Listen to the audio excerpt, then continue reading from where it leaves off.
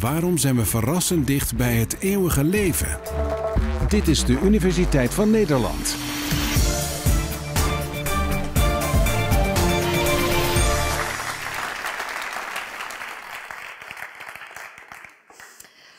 Wie van u wil er 130 gezond worden? 130 en gezond? Nou, bijna iedereen. En wie wil eeuwig leven? Maar weinig. Heel weinig. Wij denken in onze wereld toch heel vaak over eeuwig leven naar. Kent u het schilderij ehm, De Fontein van de Eeuwige Jeugd? Prachtig schilderij. Wie wil dit niet? We moeten allemaal nog op zoek gaan naar deze oase van het geluk. Zou mogelijkerwijs ergens in Florida zijn. Je springt daarin, je drinkt nog een beetje ervan en je komt daar jeugdig weer uit. Dus blijkbaar zit daar iets in het eeuwige, in de jeugdigheid, in het vitale, dat we dat allemaal graag willen. En ik moet zeggen dat ik denk bijna iedereen van u het dagelijks ook doet. Wie smeert er geen anti-aging crème om het gezicht? U bent een uitzondering. 25% van de 30 tot 50-jarige mannen smeert gewoon anti-aging crèmetjes op hun gezicht. Dus wij zijn er allemaal mee bezig. En wij zijn ermee bezig omdat ons doosje met pillen gevuld is. Wij nemen pillen, medicijnen, om niet te gaan overlijden. Dus wij willen het leven op deze aarde rekken. En wij nemen zelf in kauf om tien medicijnen te gaan gebruiken om in leven te blijven. Dus wij modificeren het lichaam zodanig dat we uitstel vragen om te gaan overlijden. Eigenlijk zou het toch veel beter zijn om er anders mee om te gaan. Om er preventief mee om te gaan. Zoals wij 100 jaar geleden gezegd hebben: nee, we gaan gewoon infectieziektes preventief bestrijden. We gaan gewoon hygiënemaatregelen invoeren. Zou het dan niet iets kunnen zijn om bijvoorbeeld ook ouderdomsziektes preventief te bestrijden? Wij weten namelijk inmiddels waarom wij verouderen.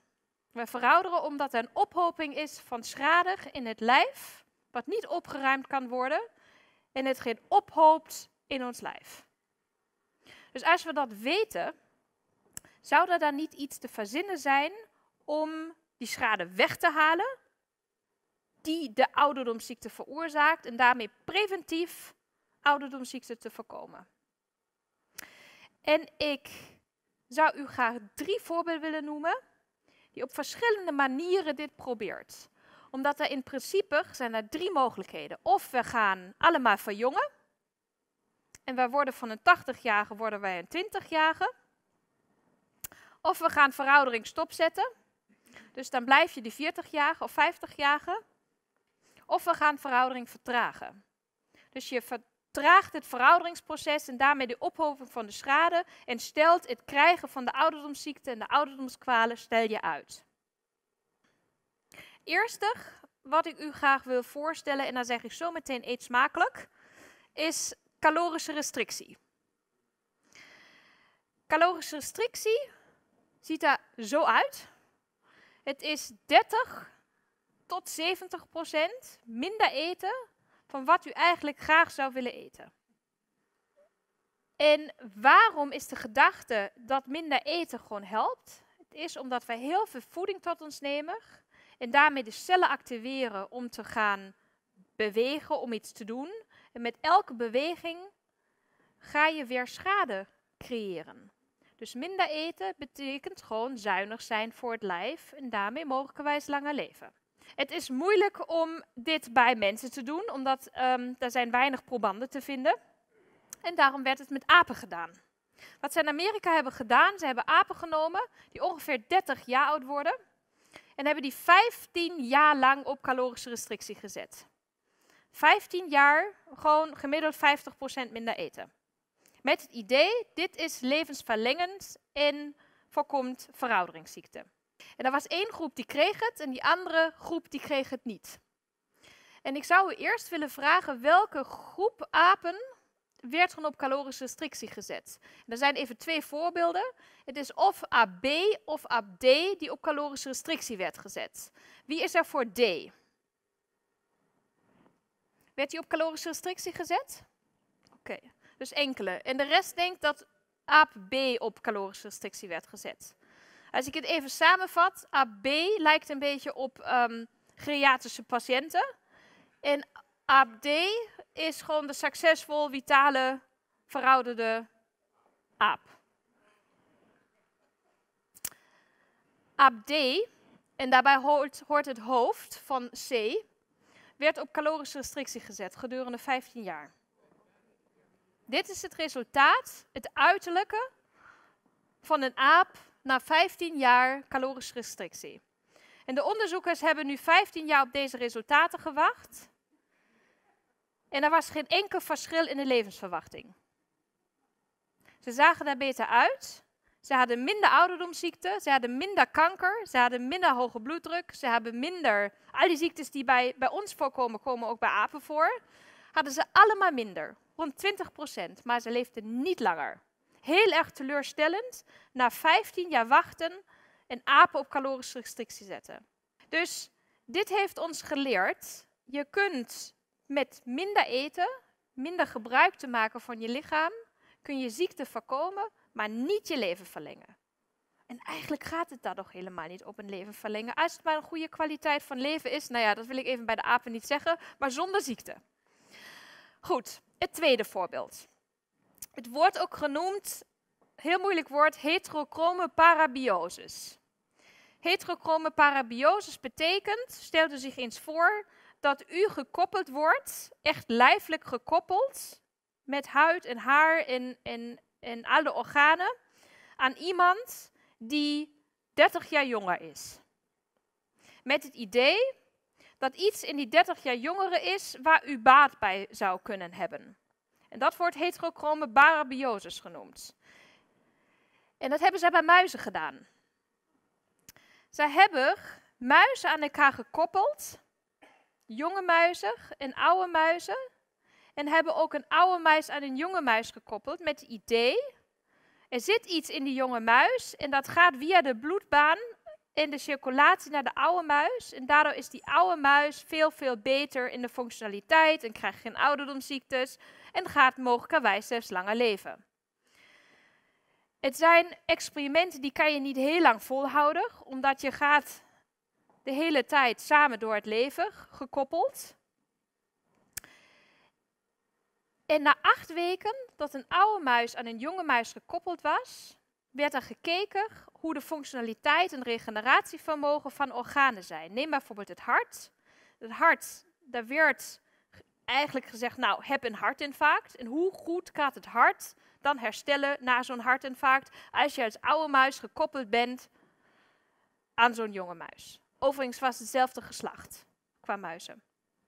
En dat leek dat als je naar de functionaliteit van de organen kijkt, dat die eigenlijk hersteld was en even goed was zoals bij jonge muizen. Dus als je als oud iemand aan een jong iemand gekoppeld bent, mits je bent muis, dan helpt het om te herstellen van ziektes of van ingrepen. En je veroudert gewoon niet meer. Dus de gedachte dat je als vampier gewoon ergens bloed vandaan haalt, is natuurlijk heel erg fijn. Omdat dan zou u kunnen vragen, nou helpen dan ook bloedtransfusies? Dat hebben ze ook geprobeerd, dat hielp niet zo goed. Maar inmiddels, met al die technologie, zijn er stofjes bepaald, uitgehaald uit het bloed van die jonge en die oude muis. En zijn stoffen, onder andere GDF-11, dat is Growth Factor 11, werd geïdentificeerd. En als je dat spuit, in zo'n oude muis, dan is het regeneratievermogen als een jonge muis. Dus deze techniek wordt gebruikt om geneesmiddelen te gaan verzinnen, die door een ja, eigenlijk lelijk experiment ontstaan, maar wij verder komen om de verjongingskuur te gaan creëren. Laatste voorbeeld. Wij verouderen omdat wij schade oplopen en dat uit zich in senescente cellen. Senescente cellen zijn ouderdomscellen die niet meer kunnen delen, maar wel nog actief zijn en allerlei negatieve invloed hebben op, ja, op organen, op weefsel, op andere cellen die in de omgeving liggen. Stel je neemt een huidbiopt en je kleurt voor die verouderingscellen, dan zien die er als volgt uit. Dit is een menselijk huidbiopt de opperhuid en de onderhuid. Er zijn allerlei blauwe puntjes. Die blauwe puntjes zijn celkernen. En alles wat bruin is, zijn senescente cellen, zijn verouderde cellen. Die senescente cellen hebben dus meer ouderig en mensen die ziektes hebben. Dus eigenlijk is het helemaal niet zo, um, zo gek om te denken, nou, als ik die cellen eruit haal, dan gaat het wel goed. En dat hebben zij gedaan. Dat hebben zij bij muizen gedaan. Ze hebben geprobeerd die cellen eruit te halen en dus ook nog gelukt. En hebben gekeken als zo'n oude muis, zonder die bruine cellen, of die dan weer goed functioneert. En het is werkelijk waar zo, want het is net gepubliceerd in maart, dat als je die bruine cellen eruit haalt, dan krijgt zo'n oude muis krijgt geen botontkalking, geen suikerziekte, minder kanker, die rent lekker door, is krachtig dus en heeft een goed geheugen. Blijkbaar maken ons die oude, bruine, senescente cellen dus zodanig een soort van ziek of kwetsbaar, dat we al die ouderdomsverschijnselen krijgen. En dat werd net gelanceerd en genoemd Xenolytica. Een nieuw geneesmiddelnaam, Xenolytica senescentie. Dat zijn die oudere cellen. En lytica is verwijderen van. Dus een middel dat de oude cellen verwijdert. En als u mij vraagt, dan zal dat de toekomst zijn om ouderdomsziekten in de toekomst te gaan voorkomen.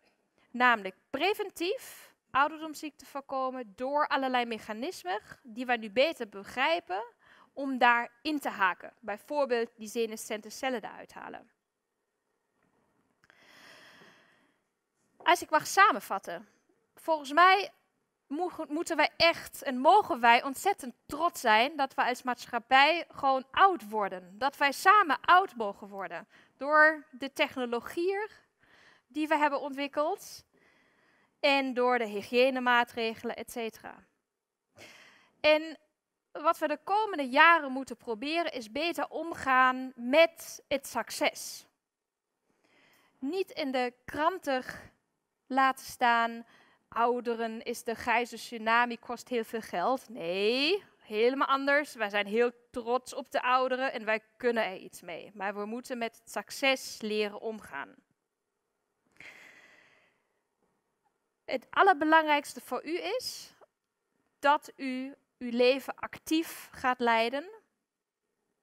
Met een goede leefstijl.